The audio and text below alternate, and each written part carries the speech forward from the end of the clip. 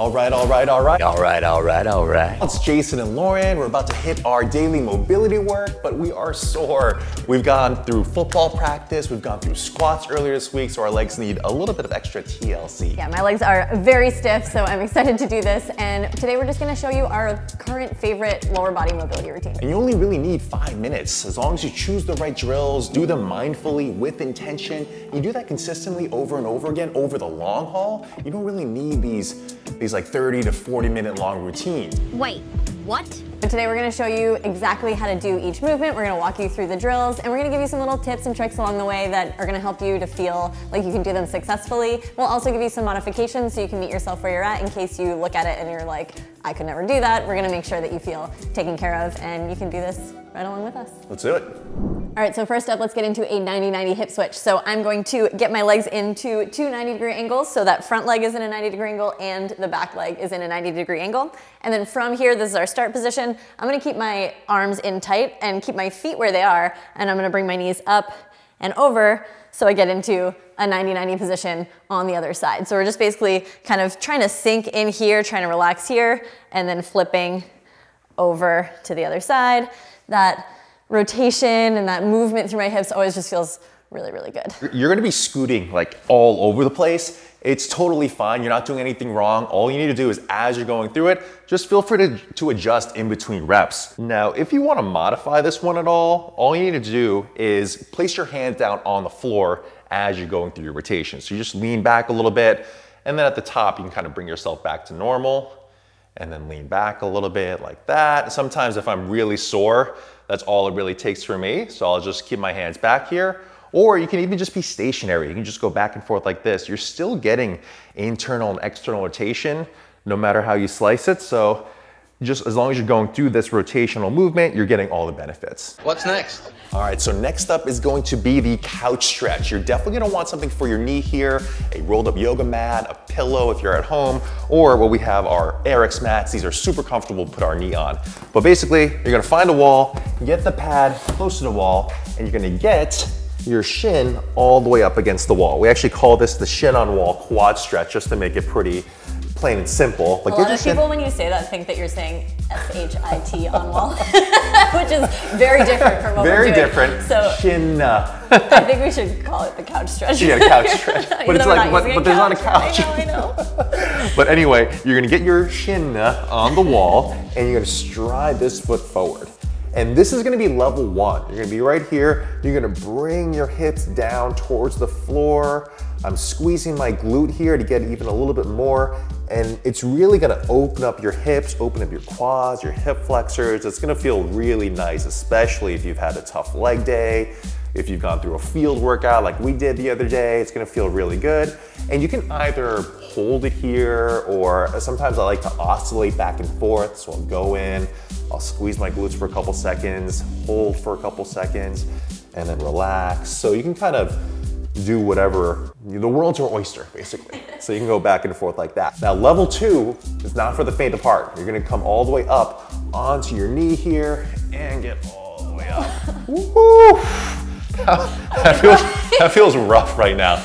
But basically what you don't wanna do is arch your back to get here. You really wanna get hip extension, so driving your hip through, squeezing this glute and holding right here. The hot tip is to make sure you breathe. I'm reminding myself as I remind you or tell you because it's very common to, when you get into a stretch that feels a little bit intense, to hold your breath, but that actually creates more tension, which actually makes the stretch harder. So the more that you can try to relax, breathe, especially more like in your diaphragm, take the breath out of your neck and your chest. Get everything's gonna relax a little and it'll help you get into this stretch a little bit better. I'm like too high threshold right now, I'm holding my breath. So just coming down here makes me feel like I can get a good stretch without creating all of that extra tension. Most so. of us are in this posture all the time. So to be able to bring one leg back and really get a good stretch there is gonna open up your hips majestically. That's a big word. So this side is funny because anytime you post this drill on Instagram and I'm doing the level two version, people freak out on Instagram in the comment section. They're like, where does his leg go? His leg disappeared. But movie magic, it's just back over here behind me. so this one is really, really tight for me and I'm feeling like I'm having a hard time getting my hip to even come forward. So something you can do if you're in the same boat is actually move your knee a little bit further away from the wall. So if you can't fully get into this position, you can just bring that knee forward a little bit. So your toes are on the wall, but maybe not your full shin chin, and then you can get into it a little bit more easily. It's a little bit less intense throughout, throughout the quad and the hip flexor. I'm very competitive, especially with myself, and so I do find myself being like, if I could do this last week, I should be able to do it this week. But this week we have had more football practices, we've lifted a little bit more consistently, and like I'm just tighter. And so to not like put myself down for the fact that I'm doing a modification and just realize that this is what I need today, that's really important. Yeah, so I got the bench here. Lauren, you wanna put the mats down? Let's go left foot back, right foot forward. Come on, Lauren. so this is going to be the modified version. If you've had trouble with Bulgarian split squats where it feels like your back leg is killing you, it might be worthwhile to do this stretch, especially this one right here, where you can really mobilize the position first, get comfortable, and then go into your Bulgarian split squats. But basically, you can see couch stretch all the time online on Instagram, but there's so many different ways to regress it while still getting the same movement pattern in, you're getting the hip extension, so plenty of ways to modify to meet yourself where you're at. next up, we are going to loosen up the hamstrings a little bit, backs of your legs, and so we're gonna do what's called an elephant walk. I actually have no idea who called it that first or why it's called that. Um, Jason was like, maybe we should come up with another name, but else to call it. A oh, forward Elephant hinge, leg straighten, it just seems to, elephant walk seems simple enough. So what we're gonna do is we're gonna come down into a forward fold and you can use a yoga block. I would highly recommend it unless you're somebody who can already kind of like get your hands flat on the floor. Oh my God, my hamstrings are so sore. this is gonna be really hard. Anyway, you're gonna fold forward, use a yoga block to kind of meet yourself where you're at. So you're in a pretty good stretch, but you're gonna have your knees bent to start. And then from here, you're gonna straighten one leg, hold it for a couple seconds, relax, straighten the other leg, hold it for a couple seconds, relax, and keep alternating like that. And so basically, you can see Jason's doing it with the block a little bit higher. You can do it with the block lower. You can do it with your hands on the floor if you can, which sometimes I can, but sometimes like today, I can't. um, but you're just trying to kind of get that extended stretch for a couple seconds, relaxing, switching, and you're gonna feel those hamstrings really start to loosen up the more you go through this one. Now, one little pro tip here is as I'm doing it, I'm really trying to not only extend this leg and try to lock this knee out, but also I'm trying to squeeze this quad here tightly. So as I squeeze that here tightly for a couple seconds, I'm getting an even deeper stretch within my posterior chain here. I could probably force this range of motion if I wanted to and sort of fake the funk, but then I'm only worrying about that knee lockout as opposed to getting that intense quad contraction. So I'm gonna go up to here and that feels a little bit better for me, a little bit more control, and I can be a lot more active with it. And again, like we said before, just always breathing throughout it. All right, so we're three moves down. This should only have taken really three minutes at this point. Uh, we only have two more moves left. But now the funny thing is, Lauren and I, when we first started personal training, what we used to do and we used to recommend to our clients was actually like a 20 to 25 minute whole mobility routine, activation, like all this stuff. And I remember like during that time, like when we first started personal training, it was 2007. So we've been doing this for a long time now. And oh. during that time, everything that was talked about in the fitness industry was like corrective exercise, activation work, foam rolling. So we'd have these really long routines for our clients, and then we'd have them come in even earlier to do foam rolling by themselves. So they're they've been like throughout their whole like gym workout, they've gone through 40 minutes of stretching and corrective work, and then finally we get them through a little bit of strength training. Now over the years, we've realized that we can truncate that down. And so we've been like slowly taking that down lower and lower and lower. And at this point, we found that five minutes is a really good sweet spot. All you really need is like three to five moves. And as long as you're strength training through a full range of motion, as long as you're mobilizing on a daily basis, you, you only need a few minutes. I will say though that one thing that people say is like, you don't have to do mobility work at all. You can just strength train through a full mm. range of motion. And we kind of went down that route for a little bit and then we started to actually feel too stiff. Like it really was a missing piece when we took it out completely. And we definitely noticed a difference in how we were feeling and how we were moving. But adding back in that five, six minutes maybe total at the beginning of the workout, like completely changed mm. how we were feeling mobility wise. Um, so I think that there's like, there's truth to truncating it to an extent, but then also making sure that you don't just get rid of mobility work altogether because we definitely personally noticed a big difference when we started to ignore mobility work altogether. Yeah, um, I mean, the in industry went from one extreme all the way to now this extreme As where all the optimal gym bros are like, you don't have to stretch, you don't have to do anything, just strength train, blah, blah, blah, blah, blah.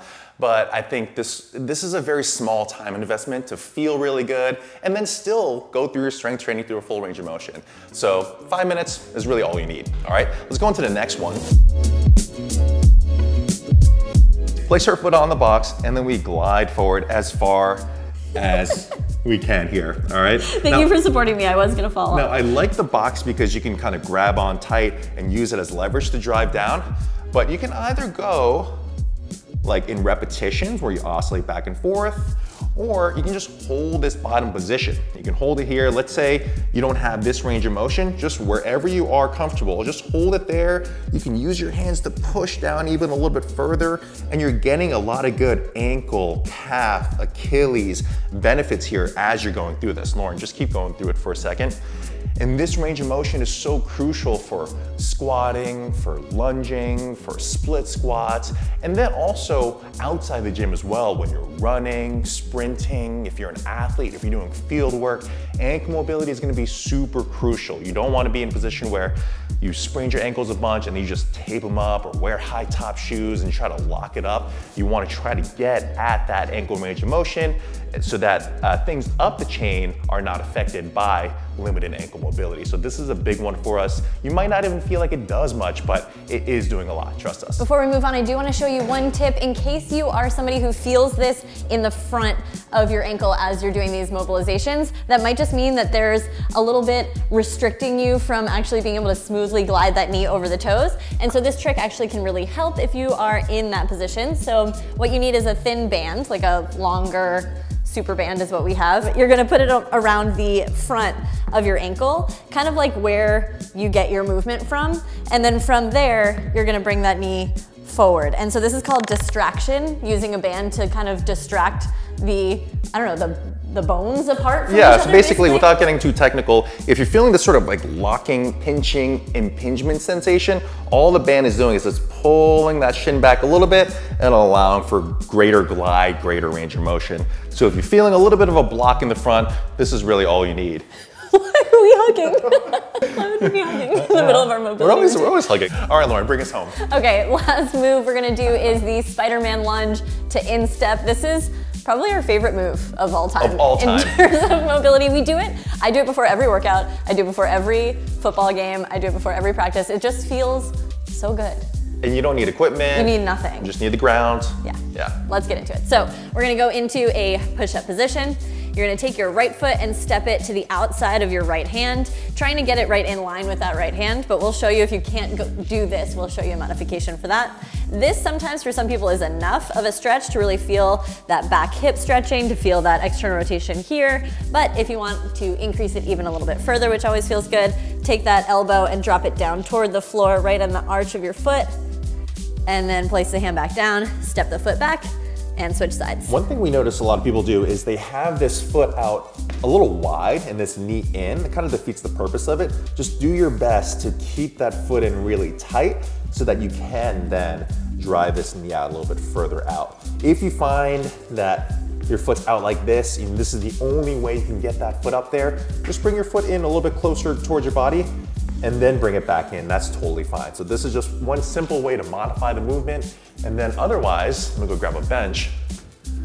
You can grab a bench, you can grab a plyo box, you can have a chair, really anything. Just elevate your hands on and go through this movement like that. So, so many different ways to any movement that you see online, mobility movement that you see online, that you see all these super flexible people do, you can really reduce range of motion in all these different ways by using props, by just intentionally shortening the range of motion. It's super easy to do, so don't feel like you're doing anything wrong or you're doing a less advanced variation. You're doing the one that is best for you and your body at this time. If you want more mobility routines like this, we have a guide called Pursuit Mobility. It's 42, it's a six week program, 42 daily mobility sessions, all five minutes long, all in this same vein. And we have follow along videos, we've got exercise tutorials, like all that is totally involved with the program. But it's really simple and easy to implement, and it makes you feel really good, just like this routine hopefully does. I think that's it. We'll see you in the next one. one.